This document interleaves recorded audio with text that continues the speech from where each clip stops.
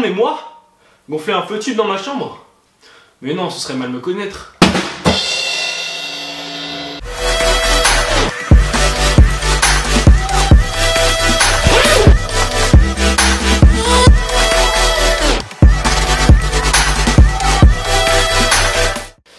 Salut à tous, c'est Sacha de la Jam Fishing Team. Aujourd'hui on se retrouve pour une nouvelle vidéo. Comme vous l'avez compris, aujourd'hui on va parler de mon Flotube et on va voir le setup Flotube 2016. Donc dans cette vidéo, je vais vous présenter mon Flotube, ce que je mets dessus, mon équipement. Je sais que vous êtes beaucoup à vous demander, à nous poser ces questions, donc euh, bah on y va tout de suite. Juste avant de commencer, tout ce dont je vais parler, ce sera dans la description. Si vous voulez savoir mes cannes euh, que j'ai là, euh, avant qu'on vous demande dans les commentaires bien sûr, j'ai une canne de chez Ben Fishing et l'autre euh, c'est une Major Craft euh, Baspara classique. Donc là j'ai une Big Bait et là j'ai une 728. Donc une MH. Bref, on passe tout de suite au. Donc pour commencer, comme vous pouvez le voir là, je possède un JMC Commando en verre. Alors euh, c'est un, un flotte que j'ai choisi tout simplement parce qu'en fait il a un tissu euh, recouvert de plastique et du coup il va beaucoup moins s'abîmer que les autres. Si on va passer sur des cailloux ça va un peu moins s'abîmer euh, et tout. Bien sûr faut quand même y faire gaffe. hein. Donc il y a un JMC Commando en verre, comme vous pouvez le voir. Il est vraiment sympa, glisse assez bien sur l'eau, enfin comme un flotube.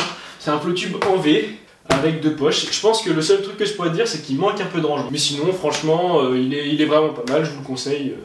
Donc juste avant celui-là j'avais un Art Vicamo que je vous conseille un peu moins. Les coutures elles s'enlevaient beaucoup ici et ici. Enfin lui c'est un, bon flotte et je vous le conseille vraiment. Donc quand vous achetez ce flotte, en même temps vous allez recevoir des palmes. Donc des palmes JMC qui sont d'ailleurs de pas très bonne qualité. Enfin de toute façon c'est offert avec le flotube donc on va pas dire non bien sûr. Mais moi je préfère utiliser des palmes de plongée que vous pouvez trouver chez Decathlon. Donc ça coûte pas très cher et en fait elles sont plus grandes et plus rigides donc ça fait qu'on pourra aller beaucoup plus vite. C'est vraiment euh, un petit truc en plus qui, bah, qui au bout d'une session fait qu'on a peut-être un, peu moins- mal aux jambes et qu'on pourra se rendre plus vite sur les spots. J'utilise aussi important un gilet.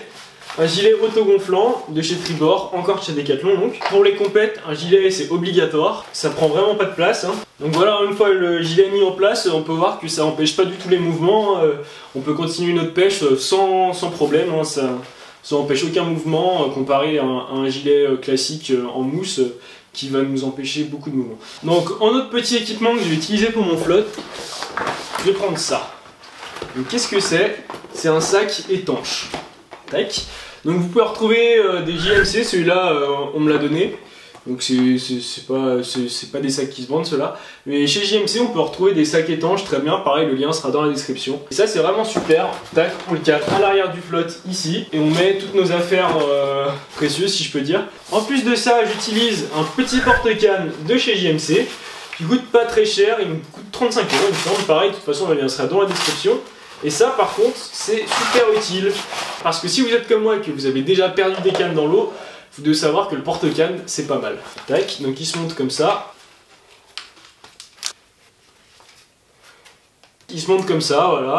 On a les deux petits pieds qui, qui s'ouvrent ici. Et on l'accroche sur le côté du flotte avec les deux mousquetons qui se trouvent ici. Donc en plus de tout ça, en matos, en électronique, j'utilise un sondeur.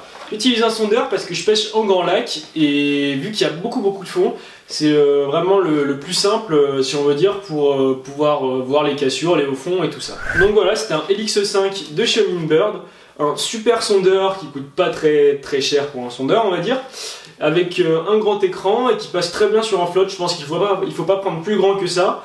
Mais ça, c'est vraiment la taille idéale et il me convient très bien sur le flotte. Donc, pour euh, support de sondeur, j'utilise un support de chez Scotty. Donc, euh, c'est une marque américaine, il me semble. Voilà, donc pareil, je vous mettrai le lien dans la description. Alors, ce qui est bien, c'est que j'ai mis, j'ai mis que une seule, un seul écrou en fait, pour pouvoir bouger le sondeur comme ça à ma guise. Parce qu'il faut savoir que ces sondeurs-là, enfin, c'est les Helix comme celui-là, ils peuvent se, donc se faire pivoter comme ça, mais pas sur, le, pas sur les côtés. Donc bon, bah, j'ai fait un petit système pour qu'il puisse se faire pivoter sur les, enfin se pivoter pardon sur les côtés. Comme batterie, j'utilise celle-là. Donc c'est une batterie de je sais pas euh, qui. C'est une 12 volts euh, et 7 ampères Donc pareil, ça c'est un petit pack qu'on trouve sur euh, pêcheur.com avec le chargeur et la batterie. Donc ça me convient très bien, je tiens plus d'une journée avec le sondeur allumé avec ça et ça se recharge en une nuit à peu près. Elle est vraiment super, elle est pas trop lourde, elle rentre dans une poche de flotte sans problème, on peut même rajouter des trucs derrière, c'est super. Donc voilà, c'est une batterie marine et c'est super si vous n'avez pas envie de courir votre sondeur avec un court-circuit, parce que bon un sondeur ça coûte cher quand même. Enfin voilà. Et bien sûr, en dernier, j'utilise une épuisette, forcément. Bon, bah c'est une épuisette euh, à pike, hein. une grosse épuisette que je mets derrière mon flotte, comme ceci. Bon, je la pose par là et je l'accroche avec un mousqueton. Bon, allez, maintenant, on va monter tout ça. Donc je mets mon sondeur du côté revers de mon lancer pour éviter de taper dedans au cas où on sait jamais. Enfin bref, c'est plus simple pour moi de le mettre de ce côté, donc je le mets de ce côté. Pour ce qui est du porte-canne, pareil, côté revers de mon lancer, la batterie que je vais mettre dans la poche du côté du sondeur bien sûr. Voilà. Et bien sûr les cannes que je vais placer sur le porte-canne. Donc soit on les met à l'avant, soit on les met à l'arrière. Hein. Soit on, les tourne de sens les cannes. Moi je les mets à l'avant parce que j'ai pas de place à l'arrière, c'est seulement pour ça. Le sac étanche, tac, on le roule, on le ferme et on le met là. Comme vous voyez ça rentre nickel. L'épuisette, ici comme ça. On accroche comme on peut. Bon, elle flotte, donc même si elle tombe, c'est pas très grave. Et maintenant, il nous reste plus qu'à mettre les leurres dans les poches. Non, non, les boîtes, c'est pas pour manger des glaces. Hein. J'utilise des boîtes à glace, tout simplement, pour pouvoir ranger mes leurres rapidement et les retrouver facilement. Donc, tac, ça rentre super bien dans les poches.